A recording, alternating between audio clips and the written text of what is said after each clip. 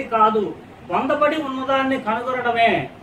నాకు శరీరంలో కల్పిత బంధమే కానీ యథార్థ సంబంధం లేదు. నేను శరీరం కాదు. నాకు బంధమే లేదు. నేను ద్రష్టను. నేను సాక్షిని. నేను నిరాకార పరబ్రహ్మ స్వరూపాన్ని. ఇది గ్రహించడమే ముక్తి. స్వస్వరూప నిష్టలో ఉండటమే మోక్షము. శరీరము మనస్సు ఇంద్రియాలు అను భౌతిక భావనల నుండి విడుదలవ్వడమే మోక్షము. నిజానికి ఇవేమీ నీవు కాదు. ఇవన్నీ నీకు తెలుస్తున్నాయి. తెలుసుకునేవాడివి నీవు. నా శరీరం ఉన్నప్పుడు నేను వేరు నా శరీరం వేరు. భావంలో మార్పు రావాలి.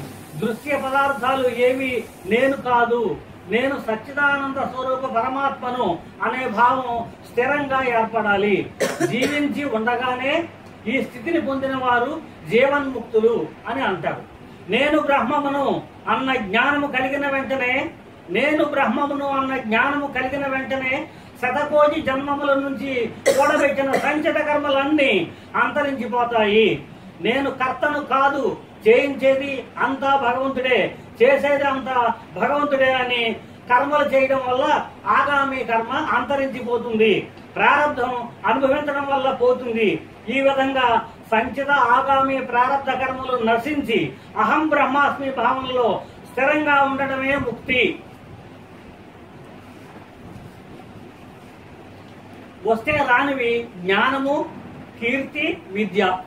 ఆత్మజ్ఞానం కనుక స్థిరమైతే అది ఎప్పటికీ మనకి పోదు. వస్తే రానివి. వస్తే పోనివి. జ్ఞానము కీర్తి విద్య.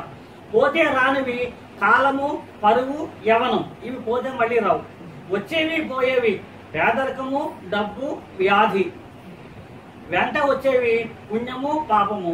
ఈ పుణ్యము పాపము వస్తే మరో జన్మ ఖచ్చితంగా ఉంటుంది. ఈ పుణ్యము పాపము అతిక్రమించి జ్ఞానాన్ని ఆత్మజ్ఞాన నిష్టలో మన జీవితాన్ని గడిపినట్టయితే అందరికీ మోక్షం వస్తుంది.